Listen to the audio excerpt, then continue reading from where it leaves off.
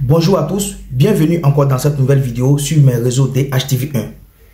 Samuel Loto est très en colère contre les footballeurs camerounais ou bien contre l'équipe nationale que lui-même dirige en tant que président. Après la défaite des Lions indomptables face à l'équipe du Sénégal, 3 buts à 1, le président de la FECA Foot, Samuel Loto Fils, est rentré dans les vestiaires et il a tenu un discours vraiment un discours fort qu'il a adressé à ses jeunes frères ou bien aux footballeurs camerounais qui sont actuellement en Côte d'Ivoire pour représenter les Lions indomptables, disons le Cameroun. Pour Samuel Eto'o, cette défaite contre l'équipe du Sénégal, 3 buts à 1, a été une humiliation pour le Cameroun. Samuel Eto'o a tenu un discours en face des jeunes footballeurs camerounais. Il dit comme ça que après cette Coupe d'Afrique qui se déroule actuellement en Côte d'Ivoire, quand ils vont retourner au Cameroun, que désormais, pour intégrer l'équipe nationale du Cameroun, il faut que ce joueur, ou bien il faut que les joueurs camerounais passent désormais un examen de patriotisme. C'est-à-dire que tu vas faire valoir ton cœur de patriotisme. Est-ce que toi, tu aimes vraiment ton pays? Parce que dans le discours que Samuel Eto'o a tenu, que vous voyez là sur l'image, il dit que la plupart des joueurs camerounais qui sont, qui sont actuellement en Côte d'Ivoire pour représenter le Cameroun dans l'équipe nationale de football, la plupart d'entre eux ne sont pas nés au Cameroun. C'est des joueurs qu'ils ont appelés, peut-être qu'ils ont un papa ou bien qu'ils ont une maman camerounaise, donc ils les ont appelés pour pouvoir venir représenter leur pays d'origine.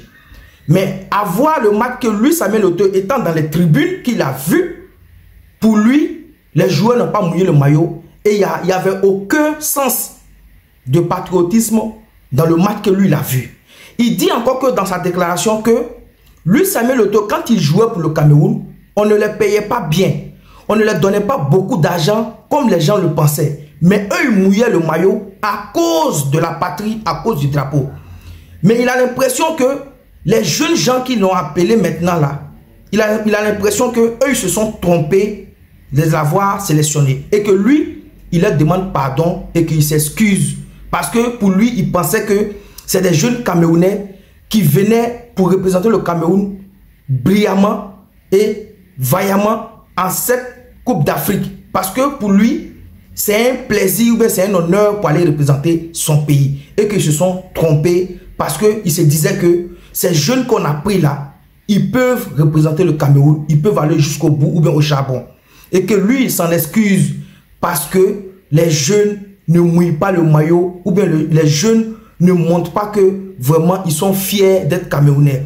Même si le Cameroun venait à être éliminé ou bien même si une équipe venait à battre le Cameroun dans cette Coupe d'Afrique, mais avoir le match, au moins si les joueurs avaient mouillé le maillot ou bien avaient donné le meilleur d'eux-mêmes et qu'ils perdaient au cours de ce match, lui, Samuel Auto, il serait satisfait. Il va dire que, il dira que les jeunes ont mouillé le maillot, mais ils ont manqué de chance, ou bien la chance n'y était pas. Mais lui, le match qu'il a vu là, vraiment, il est désolé, il est demande pardon, il s'en excuse, mais si jamais le Cameroun est éliminé au premier tour, ou bien même si le Cameroun va loin dans la compétition, mais néanmoins, quand ils vont rentrer au Cameroun, désormais, avant de venir jouer à l'équipe nationale du Cameroun, lui, Samuel Ote, il va instaurer une nouvelle loi qui dit que tu vas faire valoir d'abord ton cœur, c'est-à-dire que ton patriotisme, avant d'intégrer l'équipe nationale du Cameroun.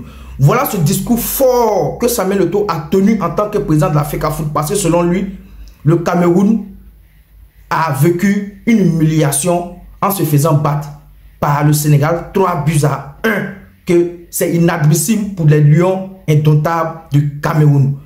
Voilà un peu le discours de Samuel Eto'o que je voulais vous relater un peu dans cette vidéo.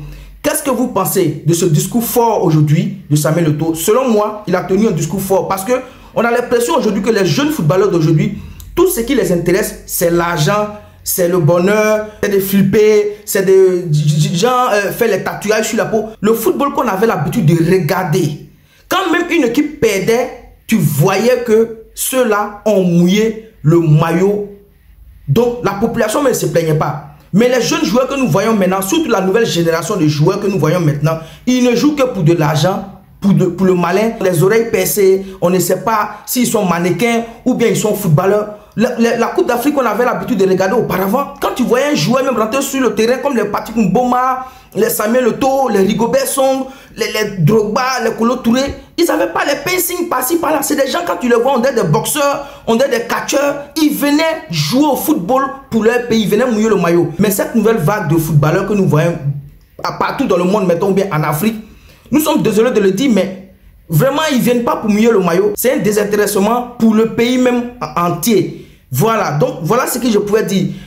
Moi, en tant qu'Ivoirien, en faisant cette vidéo, si aussi notre président de la Fédération ivoirienne de football pouvait tenir ce discours en face des joueurs ivoiriens pour leur dire que dorénavant là, en Côte d'Ivoire là, pour intégrer l'équipe nationale de Côte d'Ivoire même là, il faut faire valoir même là ton patriotisme aussi. Parce qu'il faut qu'on présente ce discours-là aux footballeurs ivoiriens qui sont en la Côte d'Ivoire actuellement à cette Coupe d'Afrique là. Pour qu'ils comprennent que ce football-là, c'est vrai, c'est un jeu. Mais il y a des gens qui mettent le cœur, qui mettent les organes. Il y a des gens qui décèdent.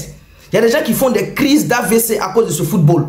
Il y a des gens qui aiment leur pays. Même si ton pays va être éliminé même au premier tour, mais quand tu regardes la prestation de ton équipe nationale, tu peux, tu, tu peux dire oui, je suis fier de mon équipe parce qu'ils ont mouillé le maillot, mais on n'a pas eu la chance. Voilà un peu les footballeurs qu'on veut avoir désormais en Afrique. Des gens qui viennent mouiller le maillot pour leur pays. Pas seulement pour jouer pour de l'argent. Parce que les anciens footballeurs qui sont aujourd'hui à la retraite, qui sont dans les tribunes en ce moment pour suivre les matchs, c'est des gens même qui n'arrivaient pas à avoir des primes de match en étant en équipe nationale. Mais ils venaient, ils mouillaient le maillot. Cette nouvelle vague de footballeurs africains là, même quand ils viennent jouer, quand tu leur donnes pas 5 francs sur leur prime automatiquement, eux-mêmes ils vont lancer les directs Facebook pour venir décrier ça sur les réseaux sociaux pour dire tel ne m'a pas payé, tel ne m'a pas payé. Quand on les appelle aussi pour venir sur le terrain pour jouer au football, voici le spectacle qu'ils nous présentent à chaque fois. Des spectacles qui n'ont même pas le pays. Un exemple, Côte d'Ivoire, Nigeria. Vous avez vu? Oui, c'est vrai, compte durant, le Nigeria nous a battu sur le score de 1 but à 0. Oui, mais quand le Nigeria a marqué le but là, est-ce qu'il y a eu une réaction des footballeurs ivoiriens qui montrait que ceux-là veulent retirer un but pour espérer gagner ou bien faire un match nul pour avoir au moins accroché un point? On n'a pas vu cette équipe nationale de Côte d'Ivoire. Donc moi aujourd'hui, je salue ce discours du président de la FECA Foot Samuel Leto. C'est comme ça un président doit parler, c'est-à-dire doit taper sec, comme les Camerounais le disent, doit taper sec à ses joueurs pour que ces joueurs-là comprennent que ici là, c'est pas maison de papa de quelqu'un. Ici là, c'est pas terrain de quelqu'un. Ici là, ça n'appartient pas à la famille de tel, tel, tel. La Fédération ivoirienne de football et la Fédération camerounaise de football, la Fédération camerounaise de football appartient au peuple camerounais. La Fédération ivoirienne de football appartient au peuple ivoirien. Donc il ne faudrait pas que les joueurs là viennent dans ces équipes-là pour penser que ici là, je suis indispensable ou bien si moi je ne viens pas là, l'équipe peut jouer. Non. L'équipe nationale de football n'appartient à aucune personne si ce n'est qu'au peuple de ces différents pays-là. Donc les joueurs, quand on vous appelle pour venir à l'équipe nationale, Estimez-vous heureux et mouillez le drapeau parce que c'est nos impôts, nos taxes que l'État prend pour injecter dans une fédération et en retour la fédération prend ces, ressources-là pour vous payer. Donc vous avez le devoir de mouiller le maillot.